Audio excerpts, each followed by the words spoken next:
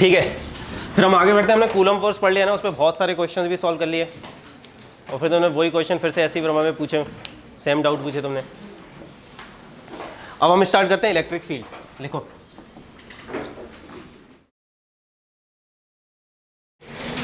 देखो electric field at a point in space electric field at a point in space can be found by placing a test charge bracket में लिखो। Test charge के bracket में लिखो। Very small positive charge by placing the test charge at that point and finding net electrostatic force on it. Then electric field at that point is given by, इसको हम ई e vector से दिखाते हैं ना, ये भी वेक्टर क्वांटिटी है। F vector by Q naught Q naught क्या है यहाँ पे? टेस्ट चार्ज लिख लेना। जहाँ पे टेस्ट चार्ज लिखा था ना, वहाँ पे क्यू नॉट लिख लो। By placing a test charge Q naught तो इस तरह से तुम इलेक्ट्रिक फ़ील्ड निकालते हो। Electric field is nothing but force per unit charge तुमने कोई चार्ज रखा? उस पर जितना भी इलेक्ट्रोस्टैटिक फोर्स लग रहा है, उसको उसके चार्जेस से डिवाइड कर दो तो तुमको क्या मिल जाती है? इलेक्ट्रिक फ़ील्ड इसका यूनिट क्या होगा, बताओ जल्दी से। यूनिट क्या होगा? न्यूटन पर। जल्दी से बताओ डायमेंशनल फॉर्मूला ऐसे दिमागी दिमाग में कर लेते हो। बताओ, चलो। जल्दी खड़े हो जाओ, जल्दी, सिमरन, बताओ, दिमागी दिमाग में करके बताओ। M one L one I one और टी माइनस वन चलो, देखते हैं भाई, सही करा है। आई माइनस वन और टी टी माइनस वन चलो ठीक है, जो भी देख लेते ना। तो न्यूटन क्या होता है अपना? न्यूटन पर कूलम है, न्यूटन क्या होता है? Kilogram, metre per second square. और कूलम क्या होता है? Ampere second. अरे भाई, टी पावर माइनस थ्री आ रहा है। तो कितना हो गया तुम्हारा? M, L, T minus three और ए माइनस वन। ये तुम्हारा डायमेंशनल फॉर्मूला है। ठीक है? अब होती क्या है भाई इलेक्ट्रिक फ़ील्ड है। तो देखो, मान लेते हैं, मेरे पास कोई बड़ा बड़ा सा कैपिटल क्यू चार्ज है, कोई चार्ज रखा हुआ है। इलेक्ट्रिक फ़ील्ड आती चार्ज के कारण है ना, और इलेक्ट्रिक फ़ील्ड को एक्सपीरियंस भी चार्ज ही कर सकता है। ठीक है? तो इलेक्ट्रिक फ़ील्ड क्रिएट कौन करता है? चार्ज और उसको फील कौन करता है? चार्ज ठीक है? तो भाई यहाँ पे कोई चार्ज रख दिया, मान लो तुमने, ना इसको रख दिया यहाँ पे चार्ज तो अब हमें पता करना है इस चार्ज के कारण इलेक्ट्रिक फ़ील्ड कितनी है। अब इलेक्ट्रिक फ़ील्ड हर जगह अलग अलग होती है। तो आप पहले तो किसी एक पर्टिकुलर पॉइंट पे निकालते हो। मान लो मैंने कहा, भाई, यहाँ पे चार्ज रखा हूँ मुझे इस पॉइंट पे पता करनी है इलेक्ट्रिक फ़ील्ड कितनी होगी। ठीक है? तो इस पॉइंट इस पॉइंट पे, ये इसको पी पॉइंट बोल देते हैं ना, इस पॉइंट पे मुझे इलेक्ट्रिक फ़ील्ड पता करना है। तो क्या करता हूँ मैं, इस पॉइंट पे एक चार्ज रख दूँगा। उस पॉइंट पे चार्ज रख दिया, अब मैं देखूँगा उस पर फोर्स कितना लग रहा है। उस पॉइंट पे मैंने मान लो क्यू क्यू नोट चार्ज रखा और उस पर फोर्स एफ़ लग रहा है। तो एफ़ को क्यू से डिवाइड कर दूँगा तो जो आएगा उसको मैं क्या बोलता हूँ? Electric field in simple words में बोलूँ तो एक कूलम एक कूलम चार्ज पे जो फोर्स लगेगा, वो इलेक्ट्रिक फ़ील्ड के बराबर हो जाएगा। मैग्नीट्यूड वाइज मतलब नंबर बराबर हो जाएँगे, ठीक है? यूनिट तो क्योंकि अलग अलग है ना फोर्स का यूनिट न्यूटन है और इलेक्ट्रिक फ़ील्ड का यूनिट क्या है? न्यूटन पर कूलम। वो न्यूटन पर कूलम से भी तुमको पता चल रहा है, एक कूलम चार्ज पे जो फोर्स लग रहा है, वो इलेक्ट्रिक फ़ील्ड के बराबर होता है। ये बात समझ में आई क्या? ठीक है। तो हमने ऐसा करा क्यों? क्योंकि मान लो, यहाँ पे बहुत सारे चार्ज रखे हुए ना। अब मुझे अब मुझे कोई एक चार्ज रख के उस पर फोर्स निकालना है। तो क्या करूँगा मैं? अलग अलग जगह रख के फोर्स निकालूं। इससे बेटर क्या है कि मैं पहले ही हर जगह स्पेस में हर एक पॉइंट पे इलेक्ट्रिक फ़ील्ड कैलकुलेट करके रख लूँगा। तो उससे क्या हो जाएगा, अगर स्पेस में मैंने हर जगह इलेक्ट्रिक फ़ील्ड कैलकुलेट करके रख ली, मान लो समहाउ मैंने, मैं सिखाऊँगा कैसे करते इलेक्ट्रिक फ़ील्ड कैलकुलेट देखो चार्ज पे फोर्स निकालने का हमारे पास तरीका क्या था? कूलम है ना? पर उससे भी हम कुछ जल्दी करना चाहते हैं हम चीज़ों को। तो हम क्या करेंगे? हर एक पॉइंट पे स्पेस पे इलेक्ट्रिक फ़ील्ड पहले ही निकाल के रख लिया करेंगे। अब स्पेस पे मान लो इलेक्ट्रिक फ़ील्ड पता चल गई। अब तुमने वहाँ पे क्यू नोट चार्ज रख दिया तो उस पर फोर्स कितना हो जाएगा? Q naught into E vector तो अब, ये फोर्स निकालने का काम बहुत आसान कर देगा। अगर तुम्हें स्पेस में इलेक्ट्रिक फ़ील्ड पता है, और वहाँ पे तुमने चार्ज रख दिया तो जितना चार्ज रखा है, उस चार्ज को इलेक्ट्रिक फ़ील्ड से मल्टीप्लाई कर दो, तुमको सीधा का सीधा फोर्स मिल जाएगा। और ये तरीका कुछ नया लॉ नहीं है, ये सब कूलम फोर्स से निकल के आता है। देखो इलेक्ट्रिक फ़ील्ड हमने क्या बोला है भाई? F vector by q naught यहाँ पे तुमने क्यू नॉट टेस्ट चार्ज रख दिया। है ना? तो बताओ, कितना हो जाएगा? फोर्स कितना आएगा कूलम लॉ से? K capital q q naught by r square इन दोनों के बीच का डिस्टेंस आर स्क्वायर बोल देते हैं। और r cap r cap unit vector होगा ना? फोर्स रेडियली तो लगता है। रेडियली आउटवर्ड तो लगता है यार कूलम फोर्स आर कैप और डिवाइडेड बाई क्यू नॉट तो इलेक्ट्रिक फ़ील्ड कितनी आ गई तुम्हारी? K q by r square r cap ये ध्यान रखना ये फॉर्मूला तो जब भी अब तुम्हें अब इलेक्ट्रिक फ़ील्ड निकालना आ गया स्पेस में किसी भी पॉइंट पे तो मैं अगर तो तुम्हें अगर कैपिटल क्यू चार्ज के कारण इलेक्ट्रिक फ़ील्ड निकालनी है तो क्या करोगे सब? के क्यू बाई आर स्क्वायर अभी तुमने पढ़ा था k q one q two by r square force होता था। अब पता चल गया के क्यू बाई आर स्क्वायर क्या होता है? इलेक्ट्रिक फ़ील्ड होता है। अब तुम्हें दिख ही रहा है यहाँ पे अगर क्यू नॉट मल्टीप्लाई कर दोगे तो क्या मिल जाएगा? फोर्स आ जाएगा। तो है सब कुछ सेम ही, बस एक नया तरीका है। पर ये नया तरीका बहुत इंपॉर्टेंट है। और इसने बहुत सारे नए डायमेंशन खोल दिए फिजिक्स में। वो हम देखेंगे कैसे हुआ। अभी ये समझ में आया क्या? कुछ नहीं करा भाई। बस जो फोर्स में ये जो, ये वाली क्वांटिटी होती थी, उसको इलेक्ट्रिक फ़ील्ड बोलना चालू कर दिया समझ लो। इसको एक अलग नाम देके रख दिया। अब देखते हैं इससे क्या होता है आगे। ठीक है? अब याद रखना है, जब इलेक्ट्रिक फ़ील्ड निकालते हो तो जिस चार्ज पे फोर्स निकाल रहे हो, उसकी नहीं निकाल रहे तुम इलेक्ट्रिक फ़ील्ड याद रखो, अगर इस पॉइंट पे मुझे इलेक्ट्रिक फ़ील्ड निकालनी है तो इस चार्ज के कारण ही निकाल रहा हूँ मैं। जिस चार्ज पे फोर्स निकाल रहे हैं, उसकी इलेक्ट्रिक फ़ील्ड नहीं, दूसरे चार्जेस की इलेक्ट्रिक फ़ील्ड देखते हैं। समझ में आ रहा है? हाँ ये चार्ज भी इसके स्पेस के अराउंड इलेक्ट्रिक फ़ील्ड क्रिएट कर रहा होगा, और उसके कारण इस पर फोर्स लग रहा होगा। पर जिस पॉइंट पे आप चार्ज रखते हो, उस पॉइंट पे आप इलेक्ट्रिक फ़ील्ड नहीं निकाल सकते। क्योंकि सोचो, अगर यहाँ पे चार्ज है और इसी पॉइंट पे इलेक्ट्रिक फ़ील्ड निकालनी है तो क्या आएगी? आर कितना हो जाएगा?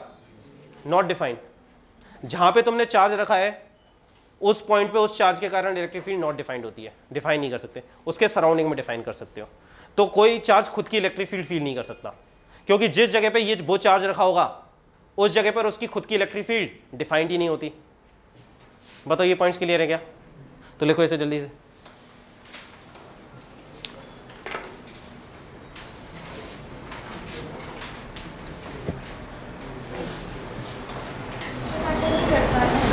करता है ना लिखते तो दिखाया तो वेरी स्मॉल पॉजिटिव चार्ज अरे वरना डायरेक्शन खुद ने नेगेटिव लेके डिफाइन कर दो, फिर डायरेक्शन हमेशा के लिए अपोजिट हो जाते ठीक है? तो इसमें क्या होगा, जब तुम फोर्स निकाल रहे हो तो अगर क्यू को पॉजिटिव रखोगे तो फोर्स इलेक्ट्रिक फ़ील्ड के डायरेक्शन में आ जाएगा। क्यू को नेगेटिव रखोगे तो फोर्स अपने आप अपोजिट हो जाएगा। तो सही तो आ रहा है, इसलिए पॉजिटिव ले लिया। नेगेटिव लेके भी डिफाइन कर सकते थे। पर कोई एक तो लेना था ना, पूरी दुनिया अलग अलग लेने लगेगी तो गड़बड़ हो जाएगी ना। तो पॉजिटिव लेके काम चालू कर दिया। कन्वेंशन है ना? कन्वेंशन है बस। और वेरी स्मॉल क्यों लेते हैं टेस्ट चार्ज को? देखा जाए तो थियरिटिकली तो कोई फ़र्क नहीं पड़ता यार। चार्ज का मैग्नीट्यूड जितना बढ़ाओगे फोर्स भी उसी प्रपोर्शन में बढ़ जाएगा। है ना? दिख रहा है ना इलेक्ट्रिक फ़ील्ड जिस चार्ज पे तुम फोर्स निकाल रहे हो उसके चार्ज पे तो डिपेंड ही नहीं कर रही इलेक्ट्रिक फ़ील्ड देखो, तुम्हें क्यू नोट पे फोर्स निकालना था, क्या इलेक्ट्रिक फ़ील्ड क्यू नोट पे डिपेंड कर रही है? नहीं, वो तो दूसरे चार्जेस पे डिपेंड कर रही है। तो फिर क्यू नोट का बहुत छोटा होना क्यों ज़रूरी है? हम्म? इसका थियरिटिकली तो कोई दिक्कत नहीं, असलियत में जब एक्सपेरिमेंट करते हैं, वहाँ पे दिक्कत आ जाती है। अगर इसको तुम बहुत ज़्यादा लार्ज ले लोगे तो वो इसको रिपल करने लगेगा इसको होल्ड नहीं कर पाओगे, इसकी पोजीशन चेंज कर जाती है। तो वो इंटरफियर करने लगता है। तो एक्सपेरिमेंटली प्रॉब्लम को सॉल्व करने के लिए हम इसको बहुत स्मॉल बोलते हैं। मतलब थियरिटिकल कोई दिक्कत नहीं, कितना भी ले लो तुम। ठीक है।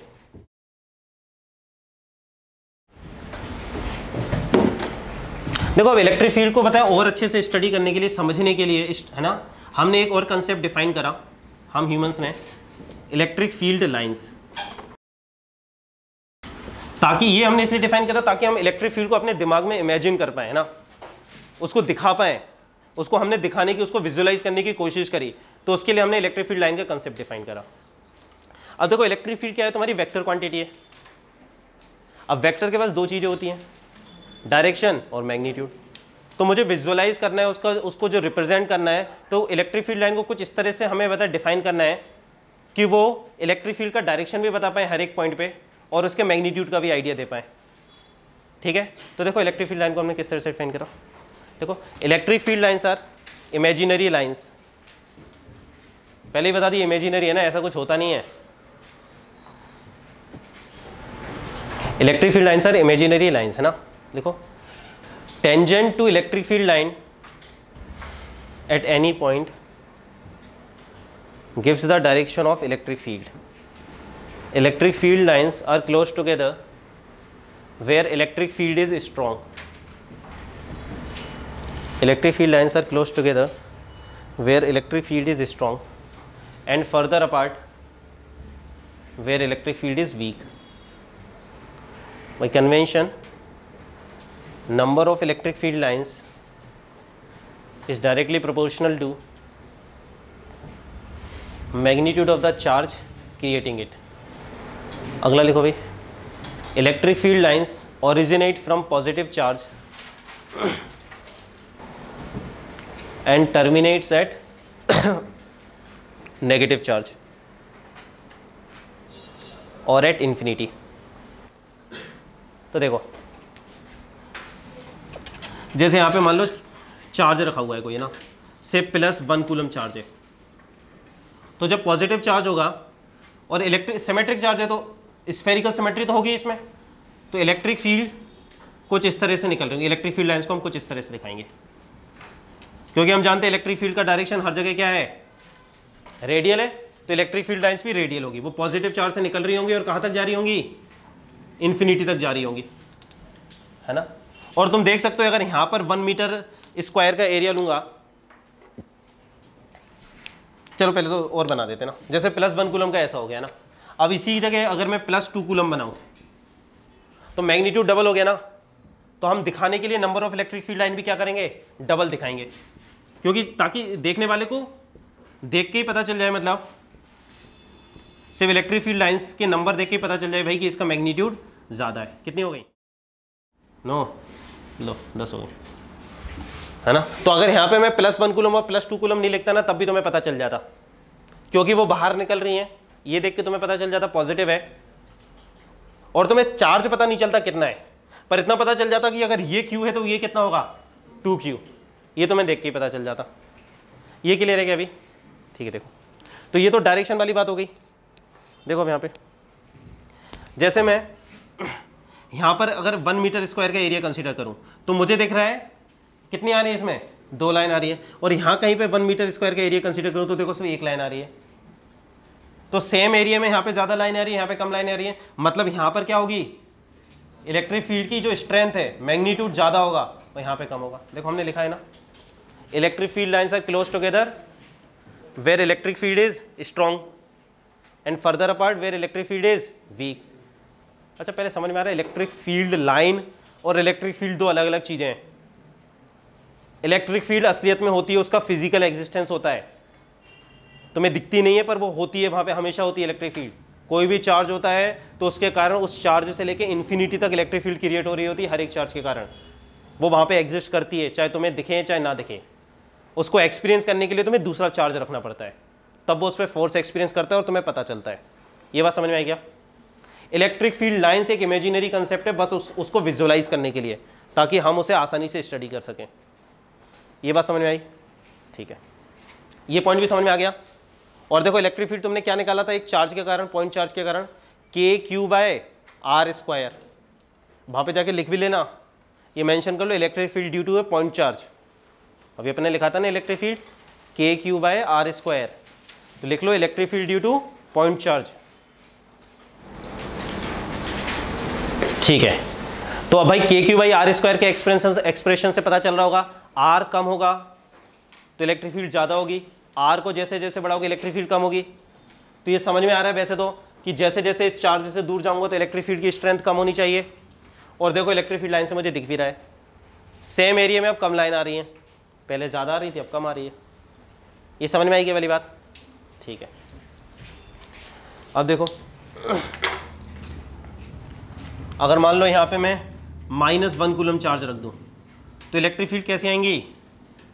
इन्फिनिटी से आ रही होंगी और रेडियली आएँगी अभी भी, पर अंदर जाएँगी। तो इन दोनों फिगर को देख के तुम क्या बता दोगे?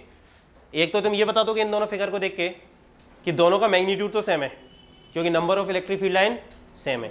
पर इतना भी बता दो कि ये वाला पॉजिटिव और ये वाला नेगेटिव तो बहुत सारी इन्फॉर्मेशन दे देता हम इलेक्ट्रिक फ़ील्ड लाइन को देख के। ये क्लियर है क्या? बनाओ जल्दी से।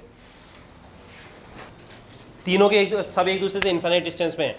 तो एक दूसरे के साथ इंटरफियर नहीं कर रहे। पर अगर मैं दो चार्जेस को पास लेके आ जाऊँ तो क्या होगा? देखते हैं ना। अच्छा एक पॉइंट और लिख लो। Electric field obeys the principle of superposition like Coulomb's force principle of superposition का मतलब क्या है? पढ़ा था ना अपन ने कूलम सोर्स में, कि बाकी चार्जेस का प्रेजेंट होने से किसी भी दो चार्ज के फोर्स को कोई फ़र्क नहीं पड़ता। दो चार्जेस के बीच में जो फोर्स लग रहा होगा वो हमेशा ही उतना होगा। चाहे स्पेस में और चार्जेस हों या ना हो नेट फोर्स चेंज कर जाता है ना। और दो चार्जेस के बीच का फोर्स वही रहता है। और नेट फोर्स कैसे निकालते हैं? नेट फोर्स वेक्टोरियली ऐड होता है। यही होता है प्रिंसिपल ऑफ़ सुपरपोजिशन तो सेम चीज़ इलेक्ट्रिक फ़ील्ड के बारे में बोल रहे हैं कि भाई, अगर दो तीन चार्ज हैं तो हर एक चार्ज अपनी इलेक्ट्रिक फ़ील्ड क्रिएट कर रहा होगा। तो स्पेस में जो नेट इलेक्ट्रिक फ़ील्ड आएगी, वो कैसी आएगी? वैक्टोरियली ऐड कर दो। ठीक है? तो लिख लेना। नेक्स्ट लिखो। Means electric field is added vectorially देखो, यहाँ पे दो चार्ज रख देते हैं, मान लो। एक अपन ने चार्ज रख दिया प्लस क्यू और एक चार्ज रख दिया माइनस क्यू पास पास रख दिए ठीक है? अब क्या होगा? मान लो मैं स्पेस पे किसी भी पॉइंट पे, पता है इलेक्ट्रिक फ़ील्ड फाइंड करना चाहता हूँ, या फिर इलेक्ट्रिक फ़ील्ड लाइंस बनाना चाहता हूँ तो मुझे दोनों चार्जेस के कारण देखनी पड़ेगी। जैसे इस चार्ज के कारण, अगर अकेला प्रिंसिपल ऑफ़ सुपरपोजिशन क्या बोलता है? अगर अकेला ये वाला चार्ज होता तो इलेक्ट्रिक फ़ील्ड कुछ इस डायरेक्शन में आती इवन वेक्टर अगर अकेला ये वाला चार्ज होता तो इलेक्ट्रिक फ़ील्ड कुछ इस डायरेक्शन में आती, और क्योंकि ये इस, इससे थोड़ा सा दूर है तो इसकी वीक आ जाती। समझ में आ रहा है? तो इस पॉइंट पे, पर इस पॉइंट पे अगर तुम कोई टेस्ट चार्ज रखोगे तो वो दोनों डायरेक्शन में थोड़ी ना भागेगा। वो तो किसी एक डायरेक्शन में भागेगा ना, और जिस डायरेक्शन में भागेगा, उस डायरेक्शन में नेट इलेक्ट्रिक फ़ील्ड है। और वो डायरेक्शन जो निकल के आता है, जो एक्सपेरिमेंटली हमने देखा है, हम बोल क्यों रहे इलेक्ट्रिक फ़ील्ड को वैक्टर है? हमने बनाई थोड़ी ना है यार। ये निकल के आया ना, जब हमने एक्सपेरिमेंट्स करे। तो हमने देखा कि अगर अकेला ये वाला चार्ज रखते हैं तो इस डायरेक्शन में लगता है। अगर अकेला ये वाला चार्ज रखते हैं तो टेस्ट चार्ज यहाँ पे भागता है। पर दोनों को एक साथ रख देते हैं तो वो जिस डायरेक्शन में जाता है, वो डायरेक्शन कौन सा होता है? इन दोनों का वेक्टर एडिशन से जो आता है। तो जब हमने एक्सपेरिमेंटली ये वाली चीज़ ऑब्ज़र्व करी तो हमने क्या बोल दिया? इलेक्ट्रिक फ़ील्ड सुपरपोजिशन को ओबे करती है और इलेक्ट्रिक फ़ील्ड भी क्या है? वेक्टर समझो, हमारे पास चॉइस नहीं है। ये सारे एक्सपेरिमेंटल लॉज हैं। ये प्रिंसिपल ऑफ़ सुपरपोजिशन हम पढ़ते तो हमें बार बार ऐसा लगता है ये तो ऑब्वियस सी बात है, क्यों बता दिया फिर से? अरे, उससे पर ये सब निकल के आया है। एक्सपेरिमेंटली निकली है। ये समझ में आया अभी? समझ गए? तो तीसरा चार्ज ले आओगे तो उस चार्ज की इलेक्ट्रिक फ़ील्ड को कोई फ़र्क नहीं पड़ता। इस चार्ज की इलेक्ट्रिक फ़ील्ड अभी भी ये रहेगी, इस चार्ज की इलेक्ट्रिक फ़ील्ड अभी भी ये रहेगी, पर नेट इलेक्ट्रिक फ़ील्ड चेंज कर जाएगी। ठीक? चलो।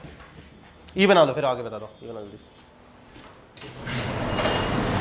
तो सोचो, अगर मैं इसके लिए इलेक्ट्रिक फ़ील्ड लाइन बनाना चाह रहा हूँ तो मुझे पता चल गया, इस डायरेक्शन में तो इलेक्ट्रिक फ़ील्ड कुछ ऐसी जा रही होगी इलेक्ट्रिक फ़ील्ड लाइन क्योंकि net electric field is tangent to the electric field lines तो अब मैं दो चार्जेस के कारण इलेक्ट्रिक फ़ील्ड लाइन बनाना चाह रहा हूँ। तो देखो, इसके बिल्कुल अपोजिट तो ऐसी ही जा रही होगी। यहाँ पे ऐसी निकल रही होगी और इसके अंदर जा रही होगी। और इसकी कैसे? इन्फिनिटी से आके यहाँ पे आ रही होगी। देखो, समझ रहे हो ना? क्योंकि इधर इसमें से निकलती है और इसके अंदर जाती है। तो ये निकल तो रही थी इन्फिनिटी में जा रही थी, पर बीच में नेगेटिव चार्ज मिल गया तो उसके अंदर चली गई। समझ में आ रहा है? इलेक्ट्रिक फ़ील्ड पॉजिटिव से निकलती है और नेगेटिव के अंदर जाती है। पढ़ा था ना, दो जगह टर्मिनेट कर सकती है। अगर नेगेटिव चार्ज मिल जाएगा तो उस पर टर्मिनेट कर जाएगी। नहीं मिलेगा तो? जैसे यहाँ पे नहीं मिला तो इन्फिनिटी पे टर्मिनेट कर गई। तो अब इलेक्ट्रिक फ़ील्ड लाइन ऐसे आती जाएँगी ना। तो अब जो यहाँ पे जो लाइन्स आ रही होंगी ना, वो कुछ इस तरीके से आ रही होंगी। जब तुम वेक्टर एडिशन हर एक पॉइंट पे करोगे ना तो तुम्हें डायरेक्शन मिल जाएँगे। फिर वो कुछ इस तरह से आ रही होंगी। पॉजिटिव से निकल के किसमें टर्मिनेट कर रही होंगी? नेगेटिव पे टर्मिनेट कर रही होंगी। बना लो जल्दी से। और ये किससे आया? वेक्टर एडिशन से ना। हर एक पॉइंट पे वेक्टर एडिशन करो दोनों के कारण तो तुम्हें डायरेक्शन मिल जाएँगे। और वो डायरेक्शन कुछ इस तरह से आएँगे।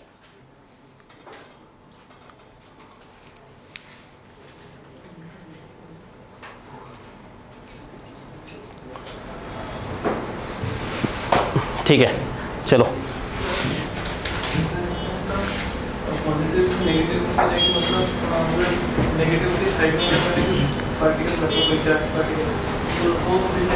तो बना बना लेते हैं ना, तुम्हें बताओ कैसा रखना अपन बना लेते हैं अभी। क्या रखना है? क्या रख दिया मैं यहाँ पे? कुछ भी रख दें। चलो, पहले एक सिंपल वाला बना लो, उसके बाद अपन वो सब करते हैं। मान लो ये दोनों पॉजिटिव कर दूँ। तुम लोग बनाओ इलेक्ट्रिक फ़ील्ड लाइन्स पहले इसके लिए बनाओ। यहाँ पर भी प्लस क्यू रख दिया मैंने, और यहाँ पर भी प्लस क्यू तो बताओ स्पेस में इलेक्ट्रिक फ़ील्ड लाइन्स कैसी दिखेंगी? सोचो।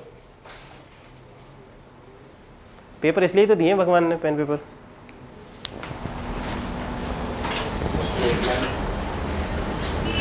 स्ट्रेट लाइंस मतलब एक बार तुम वेक्टर से सोच के देखो जरा। देखा नहीं बना ली। चलो ठीक है, देखो है ना। देखो यहाँ पे तो ऐसे भाग रही है, कोई दिक्कत नहीं है। यहाँ पर भी भाग रही है, कोई दिक्कत नहीं है। अब देखो, इस पॉइंट पे क्या होगा? देखो, बिल्कुल सेंटर वाले। इस पॉइंट पे देखें तो ज़ीरो ही होगी। यहाँ पे तो कोई फ़ील्ड लाइन होनी चाहिए, क्योंकि इससे निकल रही होगी, इससे भी निकल रही होगी। पर यहाँ से निकल तो रही होंगी, इसमें कोई डाउट नहीं है। यहाँ से भी निकल रही होंगी। पर इधर से जो निकल रही होंगी, वो ऐसे टर्न कर जाएँगी। जो इन दोनों का परपेंडिकुलर बाइसेक्टर होगा तो कुछ ऐसे आ रही होंगी, ऐसे में टोटिकली यहाँ पे जा रही होंगी लाइन्स इधर से इन्फिनिटी में। क्योंकि ये मतलब समझो सेम नेचर के रिपल कर रही हैं ये, एक दूसरे को। अगर नेगेटिव होता तो वो तो अपने अंदर ले लेता। पर ये दोनों अपने से बाहर निकालना चाह रहे हैं, समझ रहे हो?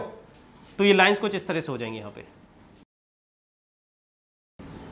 और ये यहाँ पे कैसा हो जाएगा? ये बना रहे हो? और ये स्ट्रेट आती है, इनको थोड़ा रिपल करवा देंगे ना। ऐसे आ जाएँगी तुम्हारी लाइन्स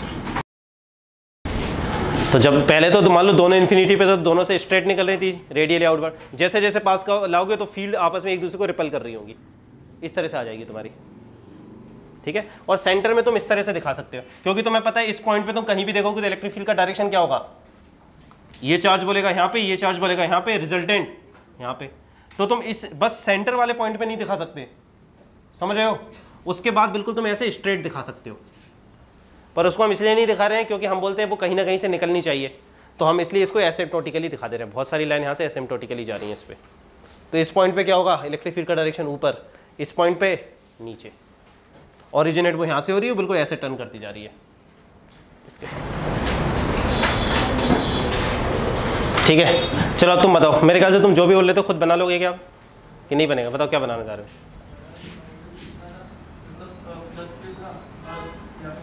अरे इसमें भी बता दो अब क्या करना है। बीच में माइनस क्यों रख देते हैं? तो सोचते कैसे बनेगी। अब ये तीन के कारण वेक्टर एडिशन करना पड़ेगा, तीनों के कारण वेक्टर एडिशन करो। तो ये वाला तो ऐसा है कि इसमें तो कोई डाउट नहीं है। इधर से निकल के यहाँ पे गई, यहाँ से निकल के यहाँ पे गई, ये वाली ऐसी भाग जाएगी, ये वाली ऐसी भाग जाएगी। और ये कुछ ऐसे जा रही होंगी अंदर, ये यहाँ से कुछ ऐसे अंदर जा रही होगी। इस तरह से आ रही होंगी कुछ ऐसे जा रही होगी, इस तरह से कुछ आ रही होंगी। मतलब वो क्या, कोई भी चार्ज खुद की फ़ील्ड एक्सपीरियंस नहीं करेगा। ये वाला प्लस क्यू किसकी करेगा? हाँ इसकी फ़ील्ड बिल्कुल करेगा। इसकी फ़ील्ड माइनस क्यू में टर्मिनेट हो रही है। तो तुम ये बोल सकते हो ना, फिर माइनस क्यू की फ़ील्ड निकल रही है। देखो, जो फ़ील्ड है, वो उन सब के कारण ओवरऑल आ रही है। ये हमने समझने के लिए बोला है, इसकी निकल के यहाँ पे जा रही है। इस पॉइंट पे जो भी फ़ील्ड आएगी, तुम्हें अगर नेट फ़ील्ड चाहिए तो इसके कारण बनाओ, इसके कारण दूर जा रहा होगा, इसके कारण पास आ रहा होगा। तो नेट इलेक्ट्रिक फ़ील्ड ऐसी आ गई। ये तो सोचने का तरीका तुम किस तरह से सोच रहे हो। फ़ील्ड इफ़ेक्ट तो दोनों के कारण आ रहा है। क्योंकि अगर ये वाला चार्ज नहीं होता, देखो, यहाँ पे तुम्हें ये लाइन देख के स्ट्रेंथ पता नहीं चल पा रही। अगर ये वाला चार्ज नहीं होता तो इस वाले की स्ट्रेंथ बहुत ज़्यादा हो जाती है अंदर की तरफ़। इस चार्ज के कारण, इस डायरेक्शन में स्ट्रेंथ कम हो गई उसकी। तो बिल्कुल होगी, यहाँ पे जो फ़ील्ड है वो इसके कारण भी है, इसके कारण भी है। दोनों के कारण है। ठीक है? ये इलेक्ट्रिक फ़ील्ड लाइन तो बस नेट इलेक्ट्रिक फ़ील्ड का डायरेक्शन वगैरह बता रहे हैं। ये हमारा रिप्रेजेंटेशन है। पर इलेक्ट्रिक फ़ील्ड दोनों चार्जेस के कारण वहाँ पे है। प्रिंसिपल ऑफ़ सुपरपोजिशन अच्छा बताओ किसी पॉइंट पे इलेक्ट्रिक फ़ील्ड इस तरह से हो सकती है या नहीं हो सकती? इलेक्ट्रिक फ़ील्ड लाइन बना रहे हैं ऐसी रैंडम है ना? तो बताओ इस तरह की इलेक्ट्रिक फ़ील्ड पॉसिबल है या नहीं है? रीजन के साथ। हाँ बताओ अनिरुद्ध। हाँ। वहाँ पे हम इलेक्ट्रिक फ़ील्ड का? अच्छा टेंजेंट नहीं कर सकते क्या? अच्छा दो अलग अलग डायरेक्शन में जा रहे हैं। एक टेंजेंट ऐसा चला जाएगा, एक टेंजेंट ऐसा चला जाएगा। हाँ ये भी सही रीज़न है। है ना? तो इलेक्ट्रिक फ़ील्ड का जो डायरेक्शन बताना है, वो बता ही नहीं पा रहा उस पॉइंट पे। ठीक है? बिल्कुल सही है। बाकी इसको और अच्छे तरीके से ऐसे बोल सकते हैं कि यहाँ पे क्या करो, एक टेस्ट चार्ज रख दो यहाँ पे। अब भाई टेस्ट चार्ज क्या करता है? जिस डायरेक्शन में तुम्हारी इलेक्ट्रिक फ़ील्ड है, वो डायरेक्शन इलेक्ट्रिक फ़ील्ड लाइन बताती है, उस डायरेक्शन में जाएगा। अब यहाँ पे रख दो तो वो कहाँ जाएगा? यहाँ जाएगा या यहाँ जाएगा? ऐसा तो नहीं हो सकता कि दोनों जगह चले जाए। किसी एक डायरेक्शन में जाएगा और जिस डायरेक्शन में जाएगा, उसी डायरेक्शन में इलेक्ट्रिक फ़ील्ड लाइन होगी। तो ऐसा पॉसिबल ही नहीं है। समझ में आया क्या? तो इस तरह की इलेक्ट्रिक फ़ील्ड लाइन दिखाई गई तो वो गलत है। पॉसिबल ही नहीं है कभी। बैठो। आया समझ में? बाकी सेम तरीका होता है इलेक्ट्रिक फ़ील्ड का ना। इलेक्ट्रिक फ़ील्ड का डायरेक्शन निकालने के लिए क्या करते हैं, हम चार्ज को रख देते हैं। मतलब ऐसा सोचो, असलियत में ऐसा नहीं कर सकते कि तुमने चार्ज उठा के रख दिया फिर हम देख रहे हो उसे भागते हुए। होते होंगे उसके कुछ तरीके। ठीक है? पर तुम मान सोचो, अगर तुमने चार्ज रख दिया। चार्ज जिस डायरेक्शन में भागेगा, उसी डायरेक्शन में इलेक्ट्रिक फ़ील्ड लाइन उस इलेक्ट्रिक फ़ील्ड है, उसी डायरेक्शन में तुम अपनी लाइन बना दोगे। अब तुम यहाँ पे चार्ज रखोगे। भाई, एक चार्ज एक ही डायरेक्शन में भागेगा ना। दो डायरेक्शन में भाग सकता है क्या? तो दो डायरेक्शन में इलेक्ट्रिक फ़ील्ड लाइन जा सकती है क्या? तो गलत बनाया, जिसने भी बनाया, ऐसा हो ही नहीं सकता। चलो enough about electric field line चलो क्वेश्चन करो ना? ये मैं इलेक्ट्रिक फ़ील्ड बता रहा हूँ। ठीक है, क्या ये? इलेक्ट्रिक फ़ील्ड यहाँ पे मैंने दो चार्ज रख दिए। देखो, अब इसका मतलब ये नहीं है मैंने लाइन ऐसी बनाई तो यहाँ पे इलेक्ट्रिक फ़ील्ड नहीं है। जब मैं ऐसी लाइन बना रहा हूँ मतलब पूरे स्पेस में इलेक्ट्रिक फ़ील्ड है। ठीक है? Find the net force on both the charges with direction find the magnitude and direction of force on both the charges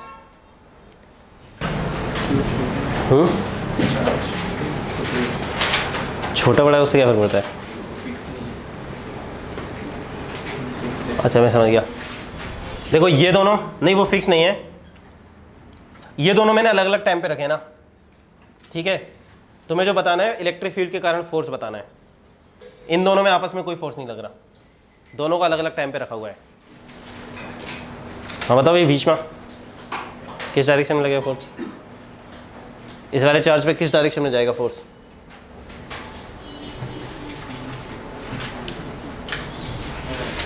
देखो, अभी अपन ने पढ़ा था ना कि एफ़ वेक्टर क्या होता है? फोर्स निकालना है किसी चार्ज पे इलेक्ट्रिक फ़ील्ड के कारण। तो एफ़ वेक्टर होता है क्यू इंटू ई वैक्टर है ना? तो अगर क्यू को पॉजिटिव रख देंगे, अगर क्यू पॉजिटिव है तो एफ़ वेक्टर और ई e वेक्टर का डायरेक्शन सेम हो जाएगा ना? मतलब इस पर फोर्स कहाँ लगेगा? इलेक्ट्रिक फ़ील्ड के डायरेक्शन में। और मैग्नीट्यूड कितना होगा उसका? Q E magnitude q into E होता है। और डायरेक्शन क्या होगा? पॉजिटिव चार्ज पे। पॉजिटिव चार्ज पे इलेक्ट्रिक फ़ील्ड के डायरेक्शन में फोर्स लगता है। अब बताओ क्यू को नेगेटिव रख दें अगर। तो देखो आ गया ना इलेक्ट्रिक फ़ील्ड के अपोजिट हो गया ना डायरेक्शन माइनस क्या बताता है? अगर वेक्टर में माइनस मल्टीप्लाई करते तो उसका डायरेक्शन अपोजिट हो जाता है ना। तो नेगेटिव चार्ज पे जो फोर्स लगता है, वो इलेक्ट्रिक फ़ील्ड के अपोजिट डायरेक्शन में लगता है। और मैग्नीट्यूड अगेन क्या होगा? क्यू ई क्लियर है क्या? मतलब पॉजिटिव चार्ज रखोगे तो वो इलेक्ट्रिक फ़ील्ड के डायरेक्शन में भागेगा और नेगेटिव चार्ज इलेक्ट्रिक फ़ील्ड के अपोजिट ठीक है? ये याद रखना, ये आसान सी चीज़ है। दिमाग में रखना है। बस ये छोटी छोटी चीज़ों से फिर अभी अपना बनता जाएगा और फिर क्वेश्चन आएँगे। Find the force and trajectory of the charge particle find the net force and trajectory of the charge particle gravity भी है ना नीचे। इनिशियली रेस्ट पे रखा हुआ है। Find the net force and trajectory of the charge particle क्योंकि circular motion straight line projectile projectile straight line parabolic elliptical hyperbolic straight line, parabolic projectile अच्छा कितने लोग बोल रहे हैं पहला होगा। और सेकंड पैराबोलिक अरे, नहीं प्रोजेक्टाइल क्या करें तुम लोगों का भाई? अच्छा प्रोजेक्टाइल होगा या पैराबोलिक होगा? प्रोजेक्टाइल पैराबोलिक नहीं होगा। मतलब मैंने ऐसे ही लिखा था इसे तो। भाई, पैरा, पैराबोलिक और प्रोजेक्टाइल एक होते हैं पहले तो। पता नहीं, तुम लोग यार। भाई, एक ही होता है ना? पैराबोलिक पाथ होता है ना? उसकी ट्रेजेक्ट्री को हम पैराबोलिक बोलते हैं प्रोजेक्टाइल मोशन कैसा होता है? पैराबोलिक होता है। What is the trajectory of projectile motion parabolic खैर, दोनों ही गलत है ना? कैसा होगा? स्ट्रेट लाइन क्यों? अच्छा अभी ऐसे इसको छोड़ता हूँ तो ये प्रोजेक्टाइल पे जाता है क्या? नहीं जाता ना? स्ट्रेट लाइन पे जाता है ना? जब भी किसी भी चीज़ को रेस्ट पे छोड़ते हैं और उस पर कॉन्स्टेंट फोर्स लगता है तो वो हमेशा स्ट्रेट लाइन में जाती है। तो हो क्या गया? एक एमजी फोर्स नीचे लग रहा है। इस डायरेक्शन में कितना लगेगा? तो नेट फोर्स जो इस पर लग रहा है, वो कुछ इस डायरेक्शन में लग रहा है। वो एफ़ नेट कितना होगा? पाई तो पाइथागोरस आता है ना? क्यू स्क्वायर उसका एंगल वगैरह भी निकाली लोगे ना? तो पार्टिकल क्या करेगा? पार्टिकल को थोड़ी ना पता है एम जी क्यू ही क्या है। पार्टिकल को तो पता है नेट फोर्स उसको दिख रहा है भाई नेट फोर्स इस डायरेक्शन में लग रहा है। तो उसकी ट्रेजेक्ट्री क्या होगी? इस डायरेक्शन में जाएगा। ये उसकी ट्रेजेक्ट्री हो गई पार्टिकल की। स्ट्रेट लाइन में ऐसे मूव कर जाएगा। आया क्या समझ में? देखो। देखो, मैं फिर से लिखवा देता हूँ। ये वाली बात मैंने काइनामेटिक्स के टाइम पे तुम्हें बताई थी वैसे। अगर किसी भी पार्टिकल पे कांस्टेंट फोर्स लग रहा है तो सिर्फ़ दो तरह की ट्रेजेक्ट्रीज पॉसिबल है, सिर्फ़ दो तरह की। कांस्टेंट फोर्स जब मैं बोल रहा हूँ तो constant in magnitude and direction दोनों की बात कर रहा हूँ ना? तो जब भी किसी भी पार्टिकल पे कांस्टेंट फोर्स लगता है, सिर्फ़ दो तरह की ट्रेजेक्ट्रीज पॉसिबल हैं, एक स्ट्रेट लाइन और दूसरी पैराबोलिक बताओ, तुम लोग कौन बताएगा कंडीशंस कब स्ट्रेट लाइन होगी और कब पैराबोलिक होगी? सिर्फ़ दो ही पॉसिबल है, इसके अलावा और कोई पॉसिबिलिटी है ही नहीं। लिखो एक नोट करके लिख लो, इसे लिखी लो, है ना? When a particle is being acted upon by constant force when a particle is being acted upon by a constant force bracket में लिख लेना constant in both magnitude and direction वैसे कांस्टेंट फोर्स का मतलब यही होता है ना, क्योंकि फोर्स एक वेक्टर है, पर तुम लोगों का क्या है? भूल जाओगे। When a particle is being acted upon by a constant force only two trajectories are possible. Only two kinds of trajectories are possible. पहली कौन सी है? स्ट्रेट लाइन दूसरी पैराबोलिक या प्रोजेक्टाइल लिख लेना भाई, दोनों सेम होता है. हाँ बताओ भाई, सोमनाथ। तो भाई, इनका कहना है, अगर velocity vector is parallel to net force तो स्ट्रेट लाइन होगा। ये कहना चाह रहे हो? हमेशा? अगर वेलोसिटी फोर्स के डायरेक्शन में होगी नेट फोर्स के डायरेक्शन में तो क्या हमेशा स्ट्रेट लाइन मोशन होगा? हम्म? हाँ बिल्कुल होगा। और अदरवाइज़ उसके अलावा कुछ भी है ना। अगर फोर्स और वेलोसिटी में कोई भी एंगल बन गया, मान लो वेलोसिटी इस डायरेक्शन में और नेट फोर्स इस डायरेक्शन में लग रहा है तो कैसा होगा बात? पैराबोलिक स्ट्रेट लाइन के लिए दो कंडीशंस है ना। या तो ये हो जाए, इधर v vector is parallel to F net और v vector is equal to zero समझ में आ गया? तो जब भी कांस्टेंट फोर्स लगेगा तो दो ट्रेजेक्टरीज पॉसिबल है। स्ट्रेट लाइन कब है? या तो पार्टिकल रेस्ट पे हो, या फिर उसकी जो वेलोसिटी है वो फोर्स के पैरेलल हो। तो स्ट्रेट लाइन हो जाएगा। इसके अलावा कुछ भी होगा तो क्या हो जाएगा? पैराबोला ठीक है, अब हम आगे के क्वेश्चंस करते हैं फिर। चलो, मैं चार तरह की ट्रेजेक्ट्री बना रहा हूँ ना। और दो तीन क्वेश्चन दूँगा। बताना कि किस केस में कौन सी ट्रेजेक्ट्री होगी। ये ऑप्शन है। इस तरह से। बी ऑप्शन है। ऐसा। सी ऑप्शन है। ऐसा। पैराबोला ही है सारे ना? ऑल आर पैराबोला से ना? Which of the following parabola parabolic trajectory is possible सारे के सारे पैराबोला बनाए ना मैंने? क्वेश्चन लिखो। Which of the following parabolic trajectory is possible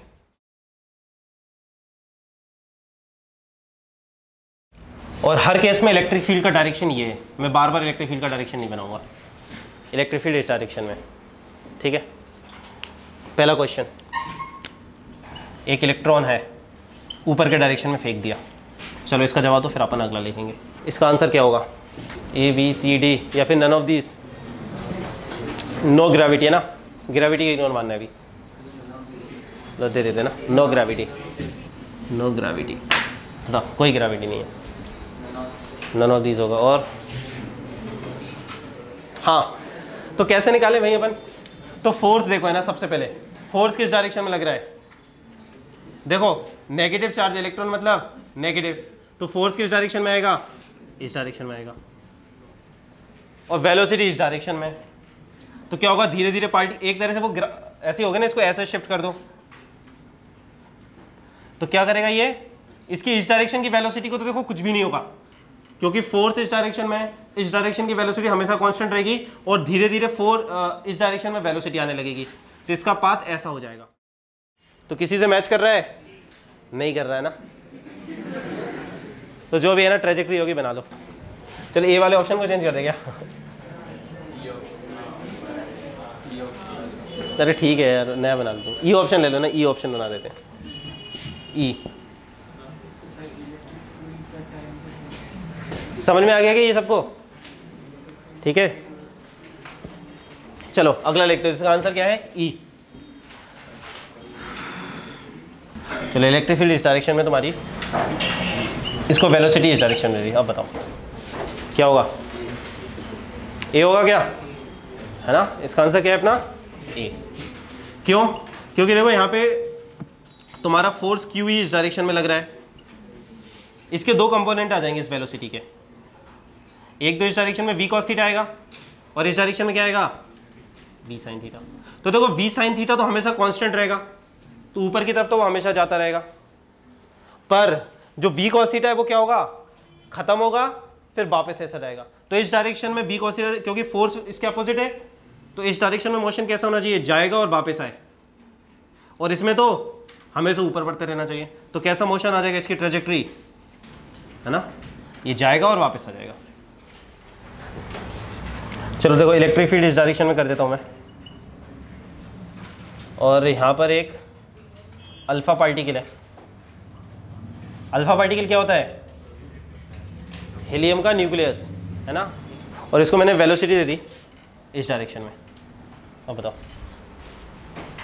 hmm C होगा ना? क्यों? क्योंकि जब इस डायरेक्शन में दोगे फोर्स किधर लगेगा? यहाँ पर। तो इस डायरेक्शन की वेलोसिटी को तो कुछ नहीं होगा। बस इस डायरेक्शन में वेलोसिटी बढ़ती जाएगी तो ट्रेजेक्ट्री कैसी आ जाएगी तुम्हारी? सी वाली, है ना? इस तरह से ऐसे चला जाएगा, ऐसे जाता जाएगा। आंसर सी ठीक है, बहुत हो गया ना? ऐसे निकाल लोगे तो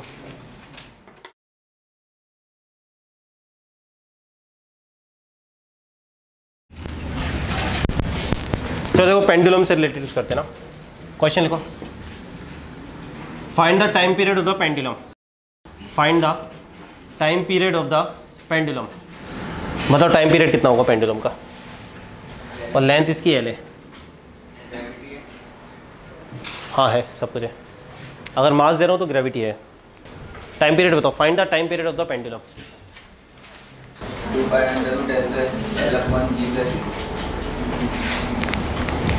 two pi under root l upon g plus E ये तो गलत है ये तो डैमेज नली गलत हो गया ग्रेविटेशनल फ़ील्ड और इलेक्ट्रिक फ़ील्ड के डायमेंशन सेम नहीं होते। ऐड ही नहीं कर सकते इनको। ग्रेविटेशनल फ़ील्ड होती है न्यूटन पर किलोग्राम इलेक्ट्रिक फ़ील्ड होती है न्यूटन पर कूलम जी प्लस हाँ ये सही है। देखो कैसे करेंगे।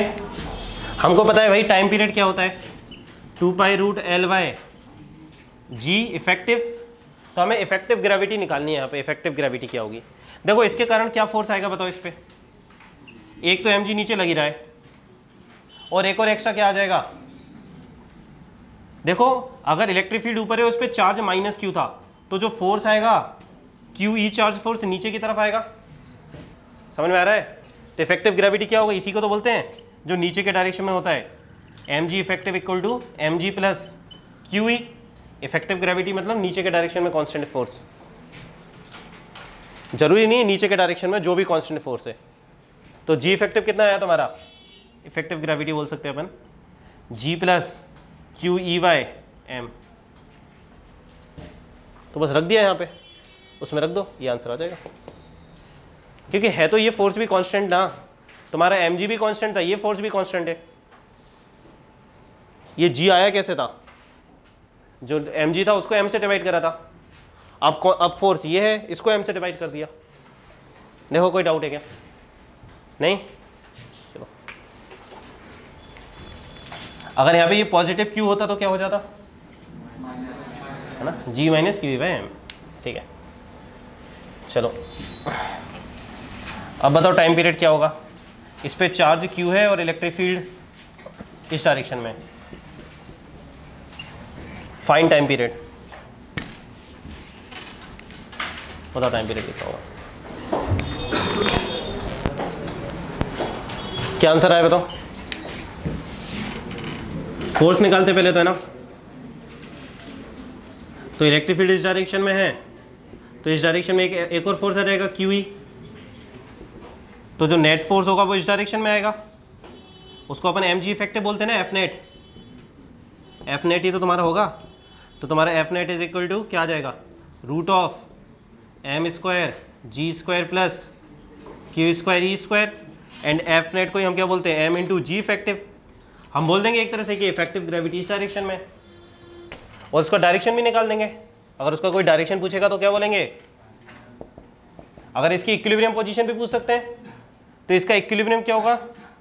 Theta equilibrium q E by m g देख लो ना इसको यहाँ पे शिफ्ट करोगे।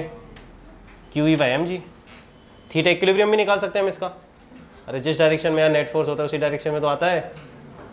एम जी इफ़ेक्टिव क्या हो जाएगा? G effective root of g square plus q square E square by m square ये आ गया तुम्हारा आंसर तो लिख दो बस। टाइम पीरियड आ गया तुम्हारा। Two by root of L by root of g square plus q square E square by m square. ये तुम्हारा टाइम पीरियड है। तो अभी तक टाइम पीरियड मास पे डिपेंड नहीं करता था ना? पर अगर इलेक्ट्रिक फ़ील्ड में पेंडुलम को रखा है तो टाइम पीरियड मास पे डिपेंड करने लगेगा। जितना ज़्यादा मास होगा टाइम पीरियड भी उतना ज़्यादा होगा। इक्वेशन बोल दे मैं क्या कर सकता हूँ? क्योंकि अभी तक जो बताएँ अपन नॉन इनर्शियल फ्रेम में जाते थे तो जो आर्टिफिशियल ग्रेविटी आती थी, वो एक्चुअली में ग्रेविटी होती थी। तो उसका फोर्स मास के प्रोपोर्शनल होता था। यहाँ पे जो इलेक्ट्रोस्टैटिक फोर्स है, वो मास के प्रोपोर्शनल नहीं है, वो चार्ज के प्रोपोर्शनल है। तो मास कट नहीं रहा है। अगर ये फोर्स भी मान लो मास के प्रोपोर्शनल होता तो मास मास कट जाता। पर नहीं, ये फोर्स चार्ज के प्रोपोर्शनल है तो मास यहाँ पे रोल प्ले करेगा।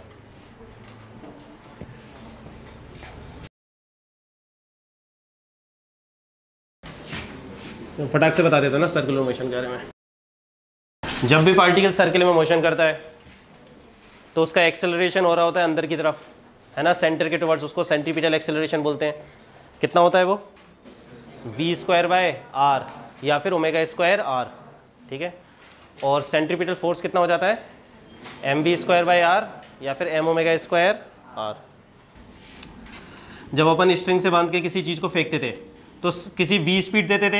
ये पार्टिकल कुछ इस तरीके से जाता था सर्कुलर मोशन में।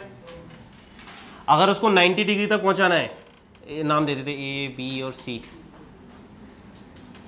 ए से बी तक पहुंचाना है तो मिनिमम स्पीड कितनी होनी चाहिए?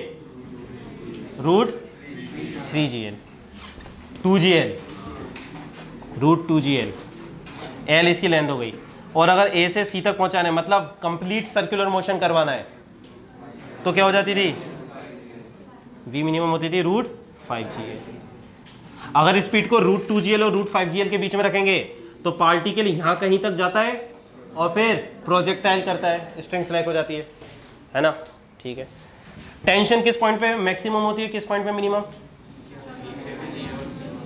इस पॉइंट पे टेंशन क्या होगी? मैक्सिमम और इस पॉइंट पे टेंशन क्या होगी? मिनिमम है ना? ये प्रूव भी कर सकते हो ना, जैसे यहाँ पे मान लो पार्टिकल है ये एंगल थीटा है। तो इस वक्त टेंशन कितनी हो जाएगी तुम्हारी?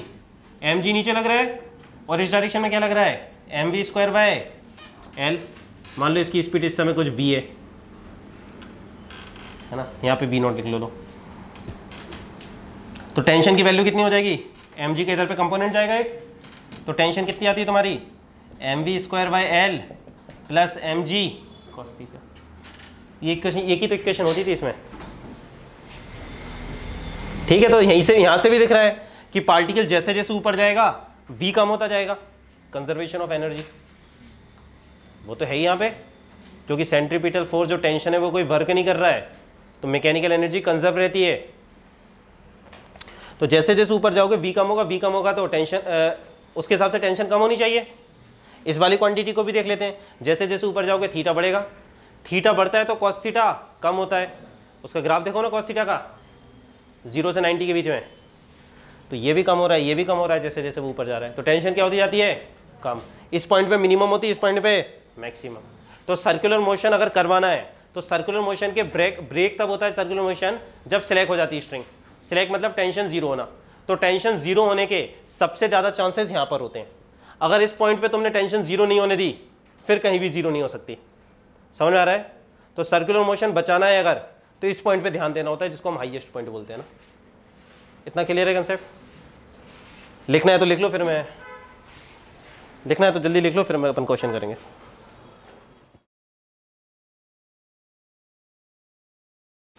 ठीक है क्वेश्चन लिखो भाई। स्प्रिंग है। Length L mass m charge q electric field इस डायरेक्शन में है। Find the minimum value of v to complete the circular motion हाँ कोई बता रहे है आंसर? कौन बता रहा था? तुम। उसमें क्यू ई एम एल वगैरह है ना? जी वी सब इस बार, सब लेके आए हो। बताओ क्या आंसर है? जी स्क्वायर एल ठीक है। फाइव वगैरह कुछ भी नहीं है? फाइव फाइव तो आना चाहिए यार। तुम तो गलत कर रहे एल स्क्वायर बोलो यहाँ पे यहाँ पे। हम्म। अरे यार क्या g square plus q square E square by m square यही बोल रहे हो? जो तुम बोल रहे हो वो गलत है फिर तुमने एम से डिवाइड नहीं करा होगा। ये बोल रहे हो? ऐसा बोलना चाह रहे हो? ठीक है बेटा। तुम यही बोल रहे थे? तुम क्या बोल रहे हो बताओ? तुम तो बैठ जाओ आदेश बैठ जाओ। हाँ। ठीक है। ये कितने लोगों का आ रही है हाँ तो ये तो गलत है ना।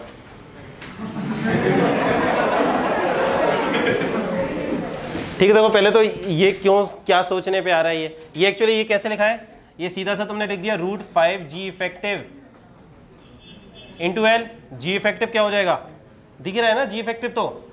एम जी नीचे, अभी तो अपन ने निकाला, और क्यू इस डायरेक्शन में है। तो तुमने उससे जी इफ़ेक्टिव निकाला, वो आया root of G square plus Q square by M square और speed root five G effective L होनी चाहिए। तो उस हिसाब से तो ये सही है ना? फिर गलत क्या है इसमें? ये तो मैंने कहा, ये तो तुमने सिर्फ़ दस परसेंट सोचा है। इसमें मुझे ये बता दो, इसमें गलत क्या है, इस तरीके में? बता। इसके बाद इसके बाद लगा दें। क्या लगा दे भाई? Minus?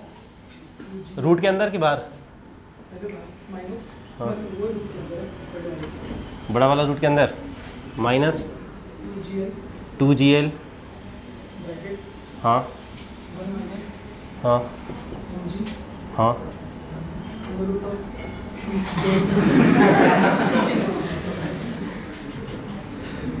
Divided by E square q square E square plus m square q square u square plus m square m के साथ जी होगा फिर। डायमेंशन को तो वायलेट कर ही मत करो कभी ना? ठीक है, पता नहीं, हो सकता शायद। मतलब मुझे पता है वो नहीं है। तो ये कुछ और आ रहा है। अच्छा इस वाले में गलत क्या था? सिर्फ़ इसको ऐसे लिख देने में गलत क्या है? अगर मैं बोलूँ कि यहाँ पर स्पीड मैं root five g effective L दे दूँ तो ये सुनने में सही तो लग रहा है कि तुम्हारा ऐसा जा रहा है सर्कुलर मोशन यहाँ पे root five g effective L दे दो और जी इफ़ेक्टिव ये है। ये निकाल रखा है अपन ने। तो जी इफ़ेक्टिव ये है ना? जी इफ़ेक्टिव कितना है तुम्हारा? Root of g square plus q square E square by m square तो इसमें गलत क्या है? हाँ। किधर लग रहा है जी इफ़ेक्टिव हाँ। हाँ ये सही कंसेप्ट है। ये सोचना था। ठीक है बेटा। फिर ये आंसर सही होगा इसका, है ना? आया क्या समझ में? नहीं आया। ठीक है। कोई नहीं, चलो मैं समझाता हूँ देखो भाई सर्कुलर मोशन मतलब ऐसा कराना है ना। ठीक है। अब बात यह है कि तुम्हारा जो जी इफ़ेक्टिव आ रहा है, वो कुछ इस डायरेक्शन में आ रहा है जी इफ़ेक्टिव इफ़ेक्टिव ग्रेविटी इस डायरेक्शन में। तो यहाँ पर जो तुम्हारा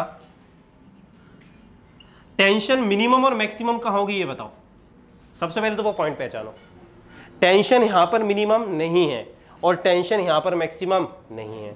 इस पॉइंट पे टेंशन मैक्सिमम होगी और इस पॉइंट पे टेंशन क्या होगी तुम्हारी? ये पहचानना ज़रूरी है सबसे पहले तो। ये लोएस्ट पॉइंट नहीं है और ये हाईएस्ट पॉइंट नहीं है। ये तुम्हारा लोएस्ट पॉइंट है और ये तुम्हारा हाईएस्ट पॉइंट है। समझ में आ रहा है क्या? अगर इस पॉइंट पे तुम सर्कुलर मोशन से बचा लो तो ज़रूरी नहीं आगे भी बचेगा। इस पॉइंट से बचाना है तुम्हें सर्कुलर मोशन से। तो यहाँ पर ये तुम्हारा हाईएस्ट पॉइंट कहलाएगा और ये तुम्हारा लोएस्ट पॉइंट कहलाएगा। तो तुम्हें जो, अगर इसको तुम्हें चाहिए, तुम्हें ये एंश्योर करना है, ये चीज़ समझ में आ रही है?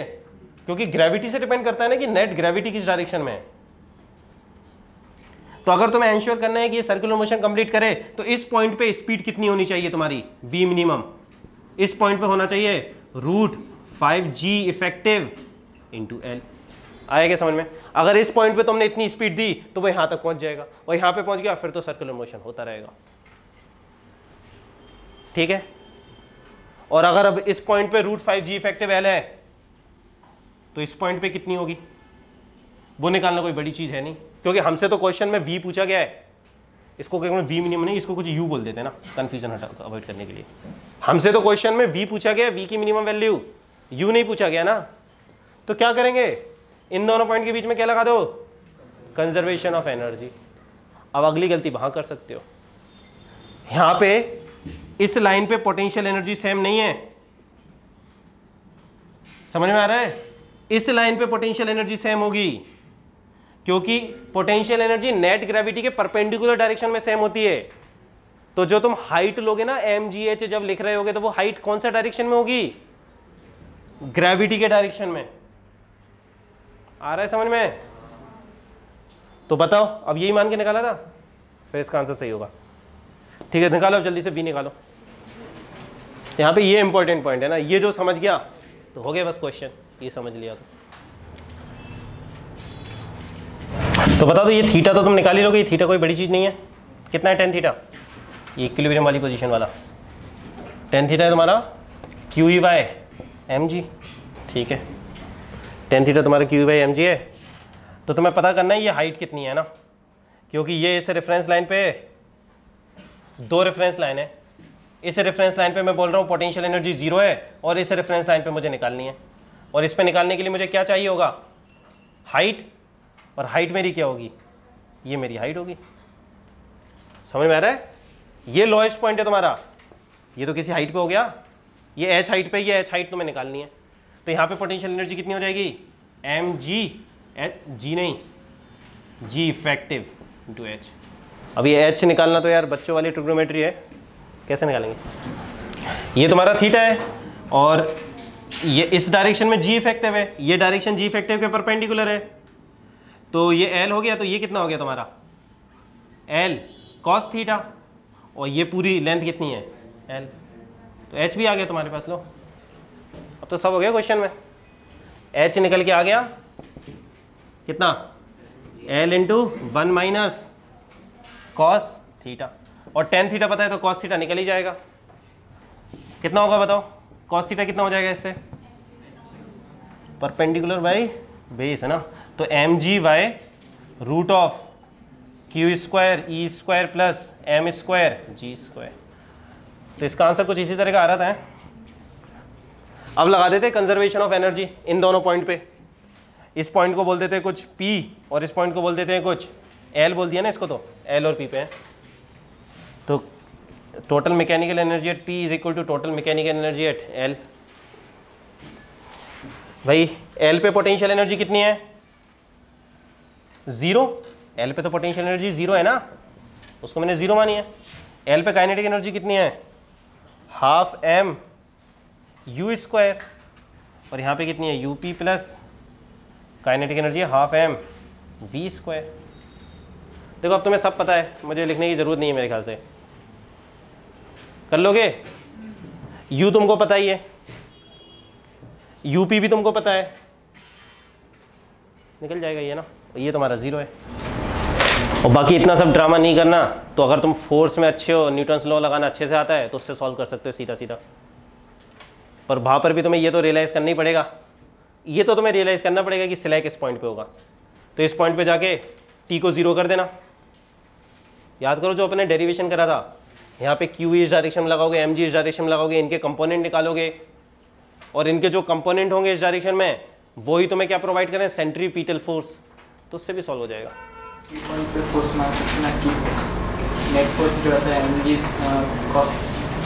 हाँ जो भी आएगा वो उस डायरेक्शन में हाँ जो भी है। M g cos theta plus q E sine theta हर हर जगह उससे नहीं।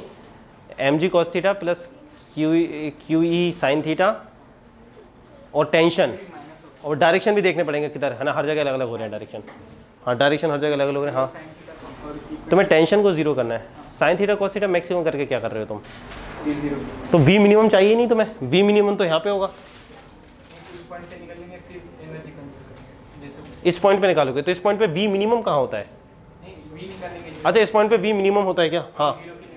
हाँ इस पॉइंट पे वी मिनिमम होता है। सही बात है, कर सकते हो ऐसे। तो उसके लिए कॉस थीटा साइन थीटा की मिनिमम वैल्यू चाहिए ना, तुम तो मैक्सिमम निकाल रहे थे। नहीं माइनस कैसे आ रही है? नहीं आ रही। अरे, इस पॉइंट पे टेंशन तो ज़ीरो है यार। एम जी का कंपोनेंट इधर आएगा क्यू ई का कंपोनेंट भी इधर आएगा। इसको तुम इक्वेट करोगे m v square by L से।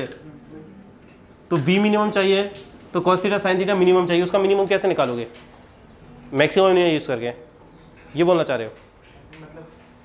हाँ ये भी यूज़ कर सकते हो। ठीक है, सही है। मैक्सिमम मिनिमम यूज़ करके कर सकते हो। ठीक है, छोड़ा, वो अपन देखेंगे अगर करना हो तो कर लेंगे। चलो आगे बढ़ते ना। इसमें किसी को कुछ पूछना है? सामने आ गया समझ में? पक्का? घर पे जाके खुद से सॉल्व करना एक बार। तो इसमें तीन चार कंसेप्ट थे। चलो कुछ और क्वेश्चंस करते हैं स्प्रिंग पे। स्प्रिंग पे बात नहीं करी बहुत देर से। अभी तक रोटेशन तो आई नहीं है। बाकी सब चल रहा है अभी तो उससे पहले का। मास एम ले लो चार्ज क्यू ले लो। स्प्रिंग कांस्टेंट के? ये नेचुरल लेंथ पे ना? ये भी नेचुरल लेंथ में इनिशियली और क्या चाहिए? इलेक्ट्रिक फ़ील्ड ले लो इस डायरेक्शन में ई e है. Constant electric field E find time period amplitude maximum extension maximum extension in the spring and maximum compression in the spring निकालो भाई। और इसमें इलेक्ट्रिक फ़ील्ड का ज़्यादा कुछ है नहीं। स्प्रिंग के कंसेप्ट है। कितना होगा time period two pi root m by करते रहो के प्लस ई माइनस ई करते रहो तुम, सब करते रहो। लिखा हुआ है, वहाँ पे जाके पढ़ना और आराम से रिवाइज करना और अच्छे अच्छे से प्रूफ करा हुआ है ना।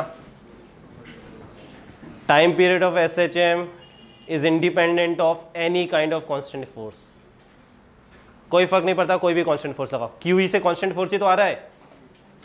बस एक कॉन्स्टेंट फोर्स आ गया। इसको हमने ऐसे वो जब हमने ये स्प्रिंग वाला पढ़ा था ना, तब बहुत अच्छे से प्रूव करा हुआ है ये सारी चीज़ें। और नोट्स भी लिखे हुए हैं। देख लेना जाके। एमडीड्यूड इसमें मैं कुछ बताने नहीं वाला, अब तो नया भाई। तुम्हें आना चाहिए। इक्विलिब्रियम पोजीशन क्या हो जाएगी? यहाँ कहीं पे इक्विलिब्रियम पोजीशन आएगी। कितनी होगी इक्विलिब्रियम पोजीशन पे क्या होता है? नेट फोर्स ज़ीरो तो जब यहाँ पे आएगा क्यू e इस डायरेक्शन में लग रहा होगा, इस डायरेक्शन में के एक्स तो इक्विलिब्रियम पोजीशन क्या होगी तुम्हारी? क्यू ई बाय की और एक्स मैक्स क्या होता है बताओ? तो एम्पलीट्यूड भी तुम्हारा वही हो जाएगा। क्यू ई बाई के और एक्स मैक्स क्या होता था? ट्वाइस ऑफ़ एक्स इक्विलिब्रियम ये भी पढ़ा हुआ है हमने सब कुछ। तो मैक्सिमम एक्सटेंशन कितना होगा? टू क्यू ई बाय मतलब इक्विलिब्रियम पे आएगी, तब नेट फोर्स ज़ीरो हो जाएगा, पर उसने वेलोसिटी गेन कर ली होगी। इस वक्त मैक्सिमम वेलोसिटी होगी तो इतना ही और आगे जाएगा वो। एक्स इक्विलिब्रियम डिस्टेंस ही और आगे जाएगा। तो ये तुम्हारा मैक्सिमम एक्सटेंशन होगा, और यहाँ पे फिर से वेलोसिटी ज़ीरो हो जाएगी। तो इस समय वो नेचुरल लेंथ के अबाउट एस एच एम नहीं करेगा। S H M equilibrium position के अबाउट होगा, इस तरीके से। ठीक है? रिवाइज कर लेने एक बार जाके। और मैक्सिमम कंप्रेशन कितना है?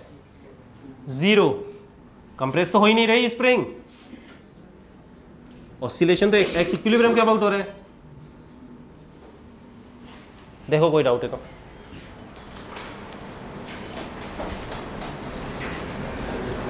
ठीक है, एक आध क्वेश्चन और कर लेते फिर आज के लिए done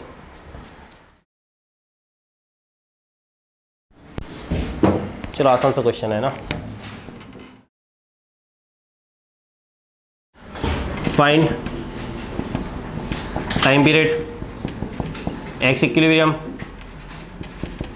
x max x max मतलब मैक्सिमम एक्सटेंशन एम्पलीट्यूड ये नेचुरल लेंथ पे ना? इनिशियली नेचुरल लेंथ पे। ठीक है? ये तुम्हारी नेचुरल लेंथ है अभी। और रेस्ट पे। ये इक्विलिब्रियम पोजीशन आएगी। फिर ये मैक्सिमम एक्सटेंशन होगा। तो बताओ भाई। शुभम, क्या होगा टाइम पीरियड क्या? Two pi? अभी भी डिपेंड नहीं करेगा इलेक्ट्रिक फ़ील्ड पे। क्यों? कांस्टेंट फोर्स है ना? किसी भी तरह का कांस्टेंट फोर्स हो गया क्या? नीचे दो कांस्टेंट फोर्स लग रहे हैं एमजी और क्यू ई कोई फ़र्क नहीं पड़ता ना। कांस्टेंट फोर्स पे डिपेंड नहीं करता। सीधी सी बात है। ठीक है। इक्विलिब्रियम पोजीशन पे क्या हो जाएगा? नेट फोर्स ज़ीरो होता है तो के एक्स इक्विलिब्रियम किसके बराबर हो जाएगा? M g plus q E तो एक्स इक्विलिब्रियम आएगा तुम्हारा m g plus q E by k amplitude भी उसके बराबर होता है। और x max is nothing but twice of x तो इसमें इलेक्ट्रिक फ़ील्ड का कुछ नहीं है एक्चुअली स्प्रिंग के कंसेप्ट हैं सारे।